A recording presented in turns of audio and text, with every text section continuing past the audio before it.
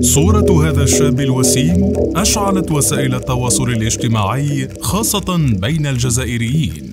ليس فقط لوسامة الشاب ونظراته الصارمة والحالمة بل لأنها صورة حقيقية نادرة للمناضل الجزائري الشهير زيغود يوسف. التقطت له في مدينة عنابة بتاريخ السادس والعشرين من أبريل من عام 1950 عند إيداعه السجن بعد شهر من اعتقاله على يد شرطة الاستعلامات العامة للاحتلال الفرنسي حينها في بلدة السمندو التي باتت تحمل اسمه اليوم ورغم أن الصورة تم تسريبها من الأرشيف الفرنسي باستخدام تقنية تصوير عالية الدقة قبل ثمانية أعوام إلا أن إعادة نشرها بوسائل إعلام جزائرية جعلها تنتشر بين العرب والجزائريين كالنار بالهشيم.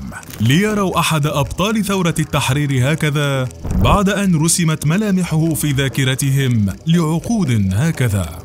ومع استحضار الصورة تحضر الأعمال البطولية التي قدمها يوسف زيغود للثورة الجزائرية خاصة وأنه مهندس هجمات العشرين من أغسطس التي غيرت مجرى الثورة الجزائرية فمن هو يوسف زيغود ولماذا وصف بالعبقري؟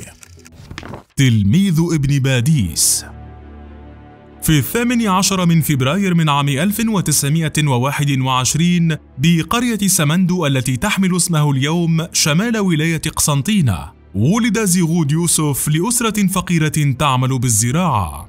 بدأ تعليمه في الكتاتيب لحفظ القرآن ثم درس في المدرسة ونال شهادة التعليم الابتدائي. لكن ظروف الفقر والعوز جراء الاستعمار جعلته يتوقف عن متابعة تعليمه، لكنه ظل تواقا إلى المعرفة والعلم، وتنام حقده على الاستعمار فبات من مريدي وطلاب المناضل ابن باديس، ثم انخرط وعمره 17 عاما في حزب الشعب الجزائري، قبل أن يصبح سنة 1938 المسؤول الأول للحزب بعنابة. وبعد انتخابه ممثلا لحركة انتصار الحريات الديمقراطية انضم للمنظمة الخاصة التي اطلعت بتوفير شروط اندلاع الكفاح المسلح. كما كان لمجازر الثامن من مايو عام 1945 الأثر الكبير في انضمامه إلى الحركة. وما أن مرت خمس أعوام من النضال وتحديدا في عام 1950 ألقت الشرطة الفرنسية القبض على زيغود بتهمة الانتماء إلى المنظمة الخاصة لكنه نجح بالفرار من سجن عنابة بعد أربع سنوات بتاريخ الرابع من أبريل عام 1954 بعد أن تفطن لوجود زنزانة خالية إلى جواره فأحدث في سقفها ثقبا وهرب منه.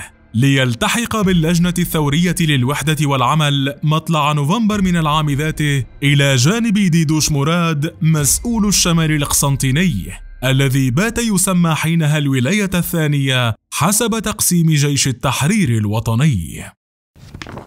هجمات أغسطس بعد مقتل ديدوش مراد في الثامن عشر من يناير من عام 1955 وعمره 27 عاما فقط بات زيغود يوسف المسؤول عن الولاية الثانية بالشمال القسنطيني ليفتتح أعماله في موقع هذه المسؤولية بالعمليات التي وصفت بالعبقرية. وتضمنت تنظيم الهجمات الشهيرة في العشرين من أغسطس عام 1955 فشملت أكثر من 26 مدينة وقرية بالشمال القسنطيني حيث استهدفت العمليات المسلحة حينها كافة المنشآت والمراكز الحيوية الفرنسية إضافة إلى مراكز الشرطة والدرك في المدن ومزارع المعمرين الفرنسيين في القرى والأرياف قبل أن يتمكن الثوار الجزائريون من احتلال عدة مدن وقرى. وبالتالي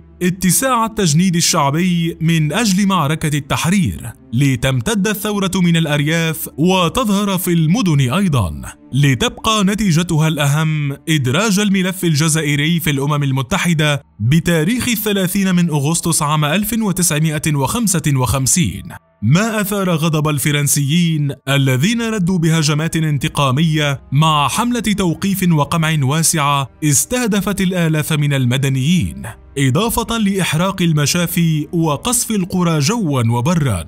قبل أن ترتكب القوات الفرنسية المجزرة الكبرى في ملعب فيليب فيل أو ملعب عشرين أوت حاليا. عندما حشرت الآلاف من الرجال والنساء والأطفال والشيوخ وأعدمت الكثير منهم.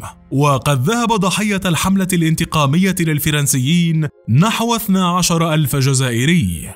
وبعد عام كامل وتحديدا في العشرين من أغسطس من عام 1956 انعقد مؤتمر الصمام الذي وضع الهياكل التنظيمية للثورة التي نتج عنها تعيين زيغود يوسف عضوا بالمجلس الوطني للثورة الجزائرية مع ترقيته إلى رتبة عقيد في جيش التحرير وتأكيده قائدا للولاية الثانية. لكن ما إن عاد زيغود يوسف إلى الولاية الثانية وشرع في تنفيذ قرارات المؤتمر حتى سقط قتيلا في كمين أعده له الفرنسيون بتاريخ الثالث والعشرين من سبتمبر عام 1956 خلال جولة ميدانية له في سيدي مزغيش من ولاية سكيكدا وعمره لم يتجاوز 35 سنة. إلا أن الفرنسيين لم يكتفوا بهذا بل أحرقوا منزله مرتين لتضطر عائلة زيغود للعيش في إسطبل خيول قبل أن يؤمن لها الثوار كوخا أقامت فيه قبل الفرار إلى تونس